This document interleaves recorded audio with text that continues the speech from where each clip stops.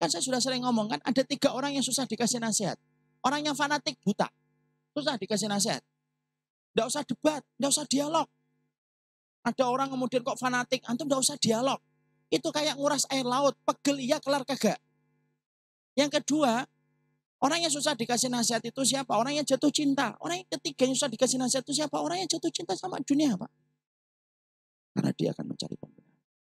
Dia akan terus ngambil yang haram. Padahal maaf ya, yang haram tidak mengenyangkan. Haram itu tidak menjadikan dekat rezeki, Pak. Sebagaimana halal tidak pernah menjauhkan rezeki. Orang kan beranggapan, oh kalau enggak kayak gini enggak dapat. Ente dapat 100, 100 juta. Tapi dalam sekejap Allah akan buat pengeluaran kamu itu jauh lebih banyak daripada sebelum kamu mendapatkan itu. Makanya rata-rata pengalaman orang, kalau kemudian dulu punya berkubang maksiat itu apa? Sering cerita kalau sudah hijrah. Saya dulu itu setiap hari dapat 10 juta Ustaz, tapi tidak punya apa-apa. Kan gitu. Kenapa? Sekalinya kita nyentuh yang haram, Allah buatkan itu pintu-pintu pengeluaran itu jauh lebih banyak daripada sebelumnya. Kenapa? Supaya Allah punya alasan menghabiskan rezeki yang sebenarnya bukan milik dia. Entah tiba-tiba mobilnya rusak kah, entah tiba-tiba ada sesuatu kah, yang kemudian akhirnya dalam sekejap uang itu kayak air, ngalir doang, hilang. Terus kayak gitu deh. Karena banyak orang yang beranggapan kalau yang haram itu mendekatkan rezeki, kalau yang halal menjauhkan rezeki. Itu bisikan seton.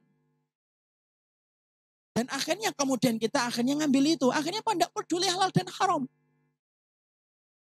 Makanya akhirnya rusaknya kehidupan kita dalam iman itu kalau sudah memasukkan barang yang haram.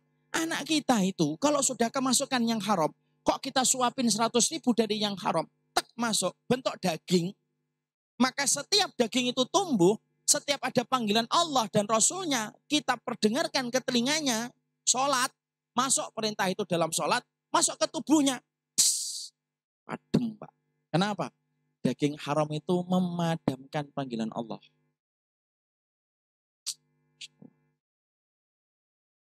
Makanya para ulama dulu itu salaf itu sangat takut sekali kalau sudah berurusan dengan harta haram.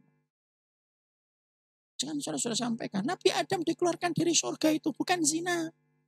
Bukan KDRT. Nabi Adam dikeluarkan dari surga itu bukan karena nempeleng malaikat. Enggak.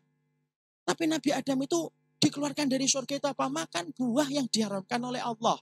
Dan itu pun cuma satu gigitan. Satu gigitan. Tok. Sudah cukup bagi Allah mengeluarkan Nabi Adam dari surga.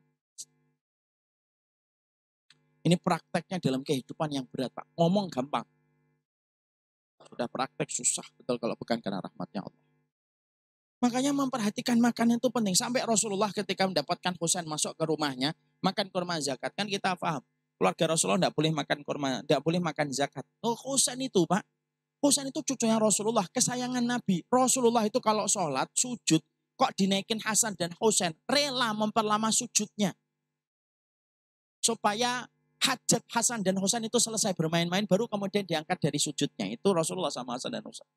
Makanya pernah kan ketika Rasulullah sujud main-main itu Hasan dan Husain. Lama betul sahabat nungguin.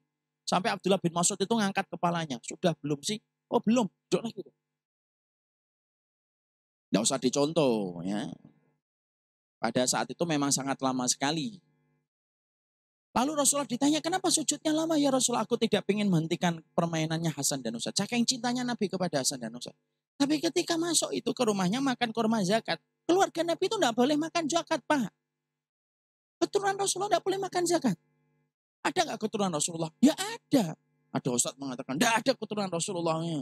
Keturunan Rasulullah itu ada Imam Mahdi itu keturunan Rasulullah. Jadi tetap ada. Nasab bersambung terus. Cuma nasab tidak menjamin keimanan kecuali orang yang bertakwa. Ya?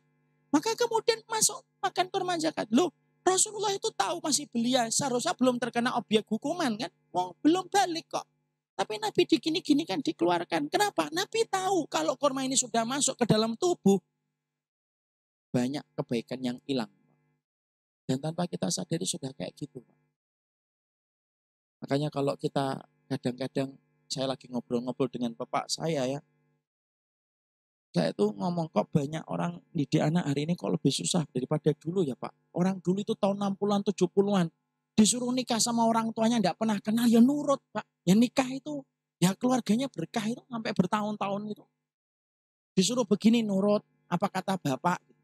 Gampang betul. Kalau sekarang susah Pak, Masya Allah. Banyak, berapa banyak bapak-bapak itu dan ibu-ibu. Semoga Allah jaga kita ya Allah diberikan kemudian menjadi anak-anak kita. Tapi banyak orang tua itu bingung gitu loh. Didik anak itu apa?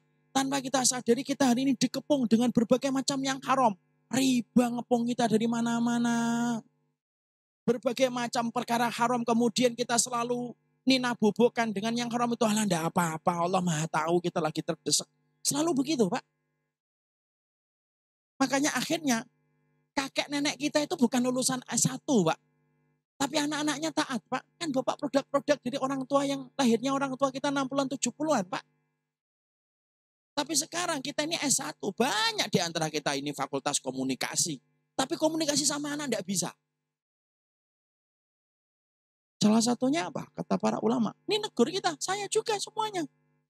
Ada harta haram dikepung dalam keseharian kita ini. Akhirnya susah kita ngomong.